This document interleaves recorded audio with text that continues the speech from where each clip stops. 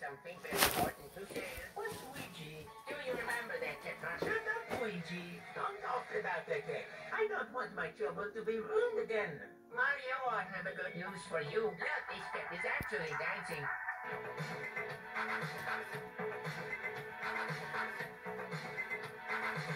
I'm so happy that this cat is actually dancing. You are such an amazing brother. No problem, Mario. I'm glad that you her to sick now. By the way, did you know how to dance like this too?